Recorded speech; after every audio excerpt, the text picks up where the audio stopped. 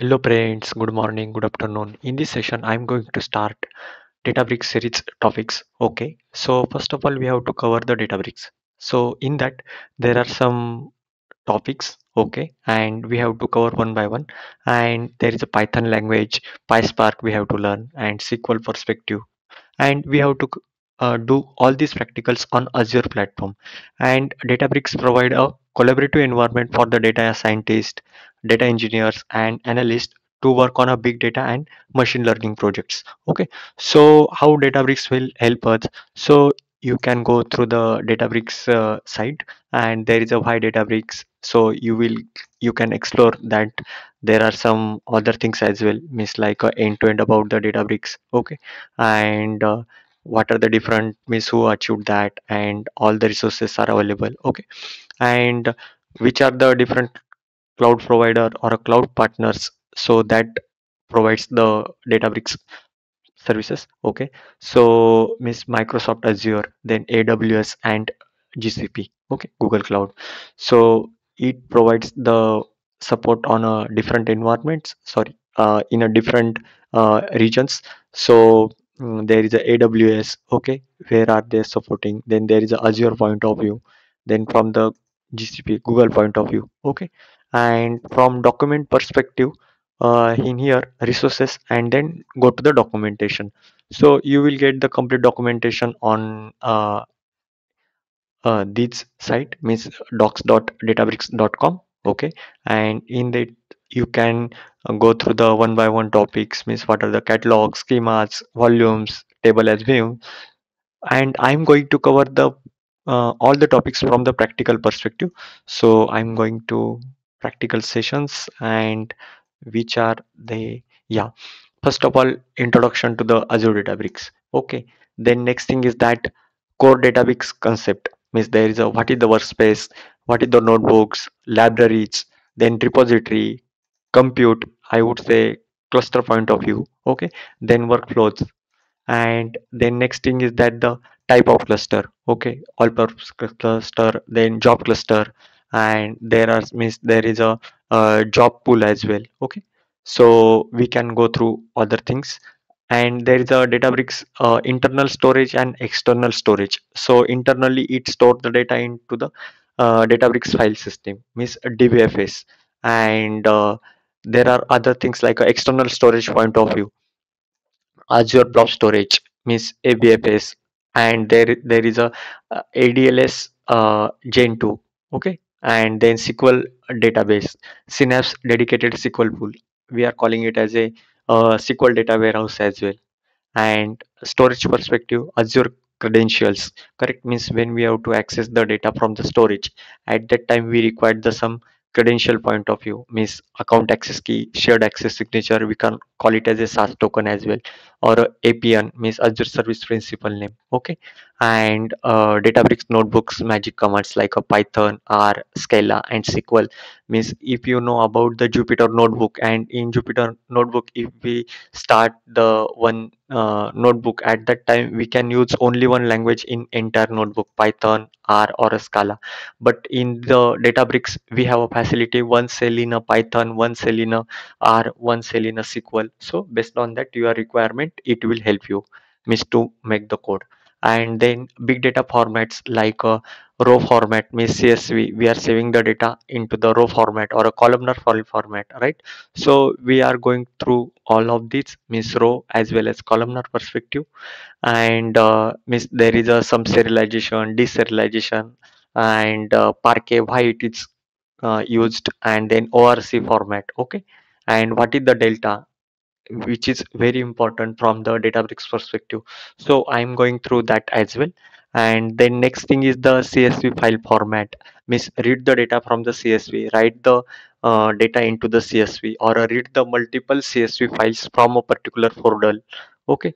And a json file format. Means let's say there is a simple json we can read or a multi-line json we can read and there is a complexity of json means there is a means there is a arrays and structs so we have to go through all of these. Uh, i think uh, i will uh, spend two or three sessions on uh, uh, means uh, reading the json point of view. And then next thing is that excel file format. We can read the data from the in one excel or a multiple sheet inside the one excel correct?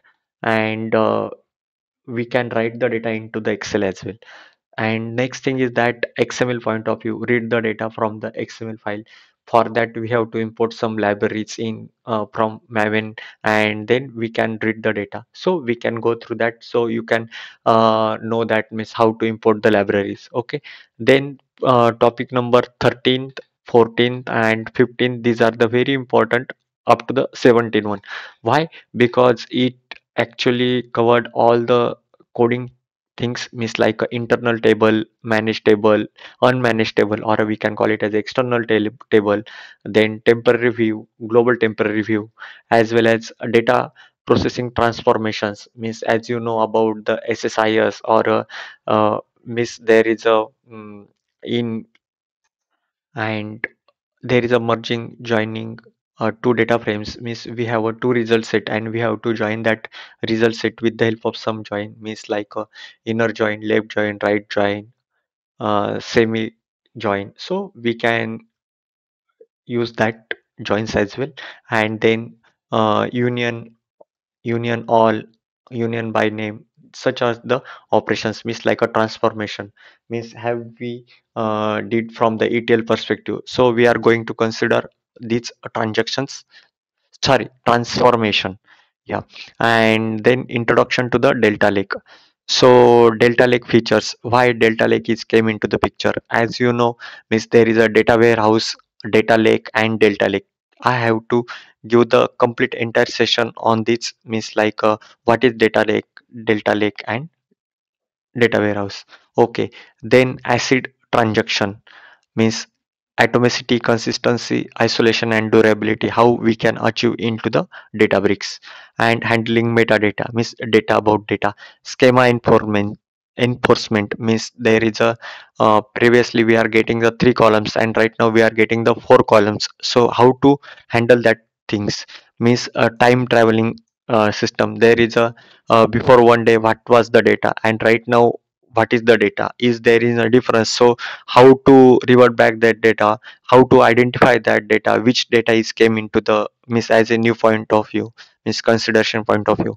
Then upserts and deletes. Then there are some delta lake components. Delta log means it contains uh, uh like um, json file and then uh, or a csv it contains the actual data. So we can go through that sorry my bad. Uh, there is a delta log contains uh, crc and json and uh, version of the parquet files. Then delta lake operations. Then there are some uh, ddl perspective means create table. Then there are some uh, insert update delete point of view means dml point of view. Okay? And display the table history. And uh, after that there is a cleanup command. With the help of vacuum we can clean up the data and there is a delta lake table history. Restore the data uh, means restored the delta table to the earlier state means data recovery point of view okay? And there are some uh, type of load historical load or incremental load. So we have to go through that as well. And there is a medallion architecture and unity catalog so unity catalog is uh, right now when we are uh, we have a two tiers means uh, like a standard tier premium tier and when we are going with the premium tier we will get the functionality of the unity catalog from the security or uh, uh, governance point of view. So i will cover all these things in a util uh, unity catalog point of view okay? Then slowly changing dimensions means how we can there is a new modification accommodate that things so we are going to cover in this topic. And then when we have to communicate with the azure sql database at that time jdbc drivers are required. So how to use that? Then same thing for the uh, synapse dedicated sql pool. So we are uh, reading the data and writing the data into the writing the data to the synapse table. Okay. Uh, then there are some performance optimization technique as well. Means optimize the table or a z ordering so we can go through that. And then next is the miss uh, as you know miss azure data factory is the etl tool and which performs the operations means like a transformation. And if we have to call that particular uh, azure databricks notebooks from the azure data factory. So how to call that? And then trigger the azure data factory pipeline. And then so we can see the uh, miss how we are calling uh, workflow or a trigger and uh, notebooks from the Azure Data Factory. Okay.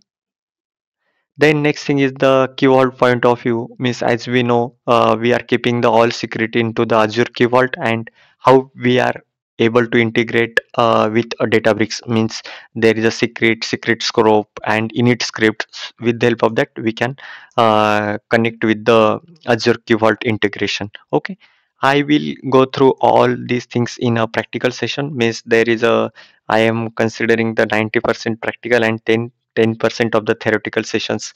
Means i will just go go through you about the means yeah these are the some uh, theoretical sections and uh, you can go through these uh, things. And then i am mostly focusing on the practical sessions and one more thing, why Databricks uh, is important. These are the some key features of it.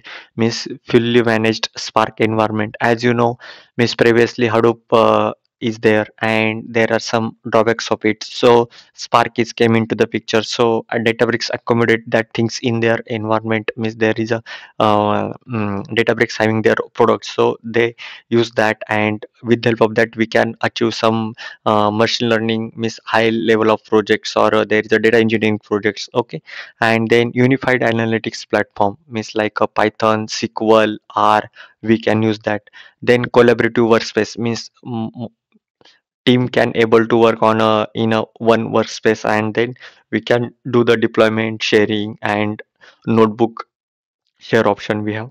Okay then ml flow integrations means machine learning point of view we can uh, do the end-to-end life cycle management about the machine learning. Okay and then uh, delta lake support. So as i said storage layer adds the reliability and performance to the data lake. I will explain about the data warehouse data lake and delta lake. So you will get complete understanding over the delta lake why it is came. What are the different things about the data warehouse and data lake? Okay. And then what are the key use cases about the databricks means in big data analytics machine learning and ai data engineering point of view streaming and real-time analytics. Okay and pricing and deployment so pricing and deployment point of view when it accommodated by the Azure. So whatever means there is a cloud provider, either it is a GCP, AWS, or Azure. So uh, the pricing is based on the compute resource and storage used. Okay, so compute resource it means there is a Databricks units and uh, storage units. Uh, storage used means we are storing the data on Azure platform, AWS platform, or a GCP platform based on the storage uh, cost they have. So they are mm, uh, giving us that particular cost and then we have to pay as per the uh, tier so soon i will uh, cover this session one by one in a practical manner so i hope that you will help me a lot to this series and to make you have any doubts so please comment me and then i am definitely able to give the answer of that questions. Thank you very much. Bye bye